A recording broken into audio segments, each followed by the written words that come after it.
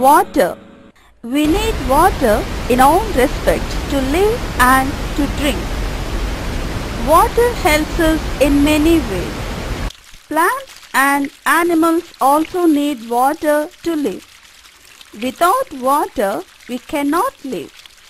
Here are the pictures of water used for different purposes.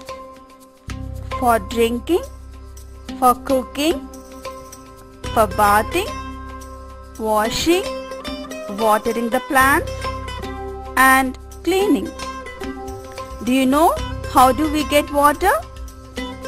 We get water from rain.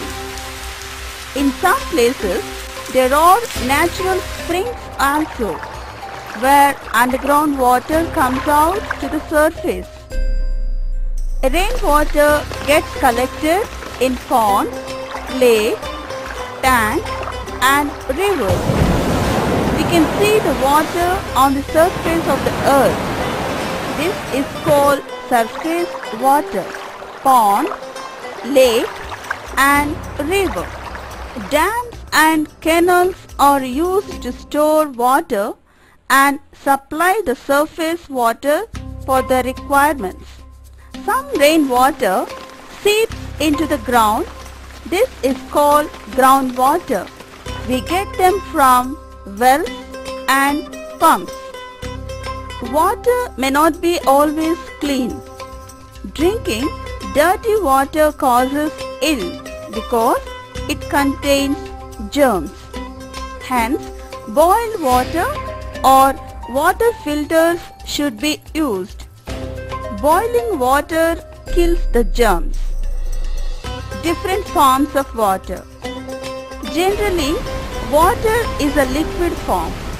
It has no taste, color and shape.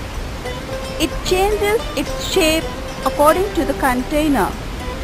Sometimes water exists in another forms like ice or water vapor. Ice is a solid form of water and steam is a gaseous form of water. Water cycle. Now let you know what is a water cycle. We know that water comes from rain. But how and where does the rain come from? The secret behind this is the sun heats the water in ponds, lakes, rivers and seas. Changing of water into vapor is called evaporation. The water vapor mixes with air and becomes clouds. When cool wind touches the clouds, the clouds melt and fall as rain. This type of change is called condensation. This goes on again and again in a natural way. Hence it is called water cycle.